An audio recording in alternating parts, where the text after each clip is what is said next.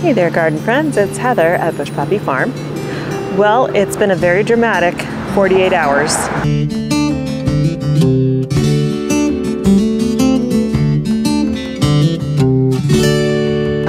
So, uh, when I last saw you, it was Monday afternoon. I had finished laying compost in the um, high tunnel in preparation for transplant. That's not going to be happening. um, the, I found out that night uh, right before I was going to bed, actually, which was a terrible time to discover this because it sent me into a tailspin. Uh, the property was sold. So um, that instantly put me into fear about what's going to happen to my business out there. Um, according to California law, the new owners um, are supposed to honor fixed term leases, which is what all of us out there have. However, that law applies to people renting living space, like apartments and, and houses and stuff. There's nothing in the law that states that it also applies to leasing land.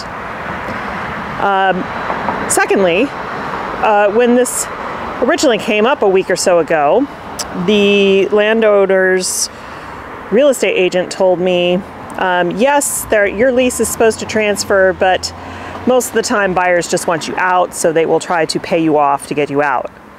Um, so, knowing that and having met the person who has bought the property, um, it's pretty clear that we're not going to be wanted there. And I still have over a year left on my lease. My lease expires in June, January of 2024. So, in order to not put my business at great risk, I decided not to put anything in the ground because between now, when I plant, and when I need to start harvesting those things, those flowers, that's six months away, and a lot of things can happen in that time period. And this is a very narrow window for planting for me. So, what I've decided to do is go back to planting at home. I'm so blessed and so grateful that I have this space. It is smaller than it was because I, I am not going to give up my chicken space. Um, so instead of three 40 foot long beds, which is what we had here before, I have three 30 foot long beds. Out at the farm, I had seven 40 foot long beds. So this is a great deal less space. Um, so what I did this morning, uh, and I didn't film it, I I've been going through a lot of emotional dealing with this stuff. So um, it, I've been kind of wanting to just be quiet and sit with this. Uh, so this morning I did a lot of work out here. Let me show you. Okay, here you can see the three beds. I harvested all of the zinnias and all of the mahogany splendor hibiscus for a wedding this weekend. So I've got two huge buckets packed full of flowers, uh, which is great, and I'm really happy about that. And then I came in and I cleared out all of these beds. So I pulled out all of the zinnias and all of the hibiscus, which I had in intended to do anyway. Um, the zinnias, even though they were still producing, they could have produced for another probably month or two. Uh, they were coated in powdery mildew, so it's fine. Um, generally have a hard time starting to pull things out when they're still producing, but then once I get going, I'm ruthless and I just yank it all out. Um, and I also had to pull out all the food that I planted because I need the space for flowers. I have left two things. One, these cabbages, because I couldn't bring myself to pull them out. I mean, look at them. Look how healthy and huge. So there's just six plants there I'm gonna plant around them. uh, so, you know, there's still gonna be flowers in this bed. And then I have yet to pull up these marigolds because they're just kind of amazing right now and still so many blooms left to go. And this is a very small, like little five foot section. I will pull it out eventually when they're done and I'll put like a second succession of, uh, you know, feverfew or something in here. So, um, but I am going to enjoy them while they're at, while they're here. I put all the detritus into the chicken bed area. That's just going to compost down over the winter um, before we add wood chips. So as you can probably imagine, it's been uh, a very emotional uh, couple of days. it's been a whirlwind year. I mean, in January, I was bemoaning the fact that I needed more space to grow. Then the farm opportunity came along and I took it in February. I did a lot of work out there to convert that area into growing space. I grew actually I hard I didn't really even get a full crop out of it because the deer ate everything. So, you know, that's also a real bummer. Um, thankfully, I had this space still planted in spring stuff because I had planted it last fall. Um, so, what's going to happen moving forward?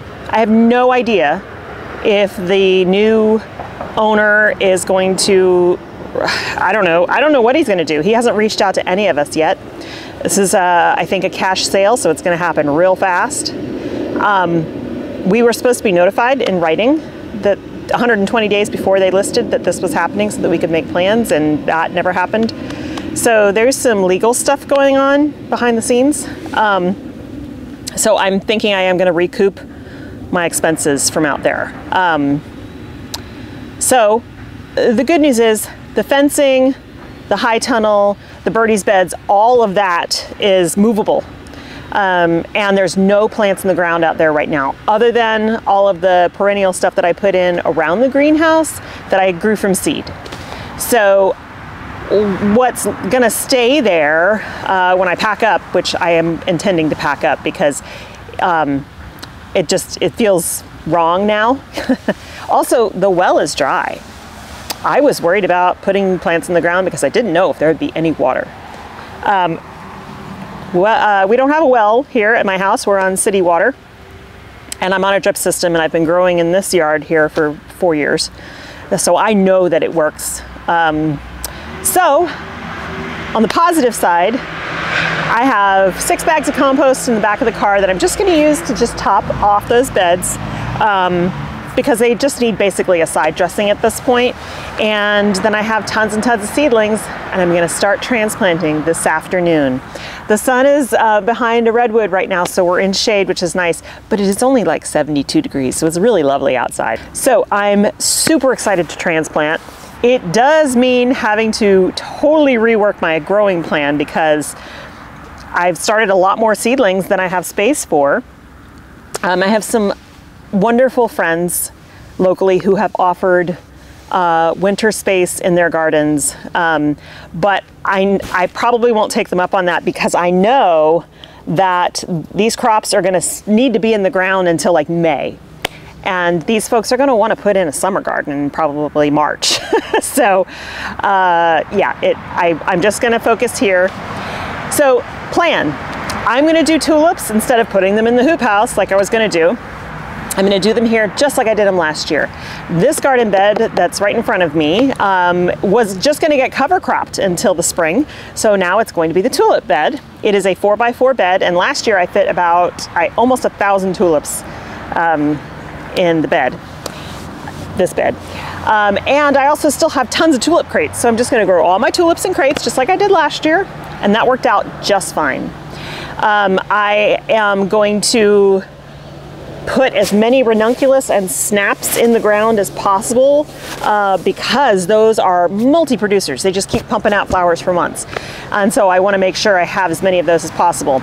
But then I do need to use a lot of space, at least a whole bed for greenery. So I'm gonna do uh, which is a direct sow, Bells of Ireland, which are direct sow, uh, Nigella, which is direct sow, and uh, Feverfew, which I've already got the um, seedlings for.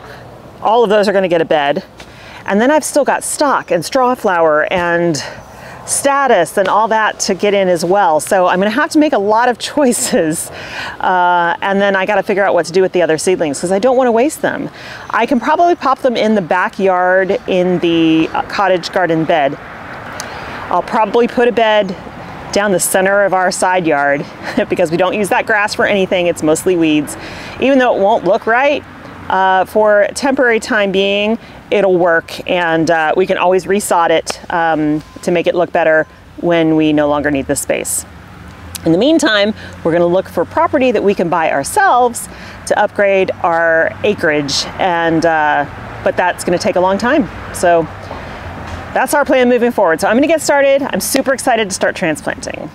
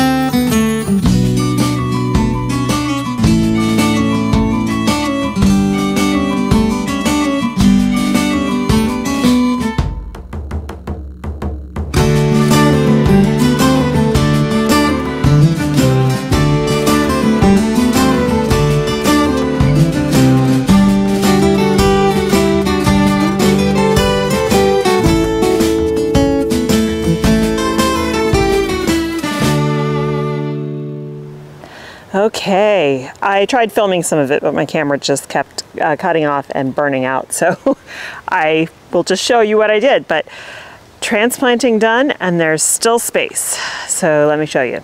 Planted everything a lot closer than I usually do, but that's okay. So right here, we've got uh, some Ammi majus, uh, same thing here, followed by Orlaya. So this bed right here in the middle is um, there's a lot of filler up front, which is exactly what I need. So different types of Ammi majus um, and Orlaya. And then the rest of the bed, except for the marigolds down there, is straw flower. Lots of different colors because uh, I used it so much for drying this year. And then this bed over here is only partially filled. That is all stock and it's planted super close together because that is a single flower producing um, plant. And so there's no point in taking up a huge amount of space because as soon as they're done, I'll pull them up and put something else in there. The rest of this bed is for ranunculus. Um, I'm hoping that will be enough space. Those are what's uh, pre-sprouting right now. And then, like I said, over here is the Ammi majus. Uh, I'm leaving this cabbage because I just don't want to pull it up. Um, and then this bed is snapdragons. Snapdragons for um, much of the way. And then we run into statice, and there's lots of statice going along down here. And then we hit some um, pincushion flower, a special breed of Scabiosa, and then that's all feverfew down there. Um, I would like to plant more feverfew. I absolutely love it, so I'll probably start a second succession. Over here along the fence line, I've got some um, uh, Rudbeckia triloba, which is a perennial Rudbeckia that I'm going to use as filler. Um, I also have Firmament, uh, Forget Me Not, and a little bit of Bachelor Button. Uh, they're not my favorite, so I'm not going to put a whole lot there. And so the rest of this uh, fence line bed is uh, going to be saved for peonies interplanted with um, uh, daffodils. And those will be permanent. Uh, that was always the plan for that. And then this front bed is uh, going to be my Bupleurum and um, Bells of Ireland. And at the front there I have Agrostemma that did so well last year. So uh, also uh, peonies will be going in here as well. So the um, the Bupleurum and Bells of Ireland, I just have two seed packets. I'm going to do uh, a good sowing down here, pull this borage out, and then um, some peonies will be going in here that will also be interplanted. So I still have, you know, unplanted seedlings in the greenhouse, but not nearly as many. Um, I, like I said, I did plant everything very close, but it is, we are going into winter. Now the next thing I need to do is uh, sprinkle all the beds with the Repels All uh, granulated garlic to keep the rodents out because they really did decimate my snapdragons last year. So I'm going to be proactive about that and probably come out here every like four days and put that stuff down. Um, and I'm to need to install the hoops the metal hoops so that I can put row cover over these guys when we start getting our rains because otherwise they just get flattened by the rain. So they'll put on a little bit of growth over the next couple of weeks until we get our frost, but then they're basically to sit there and do nothing throughout the winter. And then um, come early spring, when we start to warm up a little bit and get out of the frozen temperatures at night, they'll start to put on a lot of growth. And then hopefully by March, we'll start having our first flowers. So I'm really happy to get this planted up. Uh, yes, I'm still sad about the farm, but having all of this here uh, and planted and knowing that I'm gonna have stuff for people um, makes me feel very secure. And I know that I'll deal with all the infrastructure out there, pack it all up and put it into storage until we can have um, more space, more land to put it on.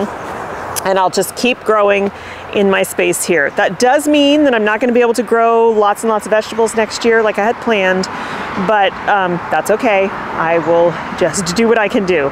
Um, we'll still enjoy tomatoes and things like that. It's just going to be on a smaller scale. So that's going to be it for today. Uh, I might go on and put the metal hoops up and I need to test the irrigation. Don't know if it's actually how, I think there's a couple of holes that I need to plug. Um, but then I'm going to uh, go take a shower. Sun's setting and uh, I'm tired and hungry. Thank you so much for joining me today. I appreciate your help and your support. Um, and I look forward to seeing you in the next video. Bye.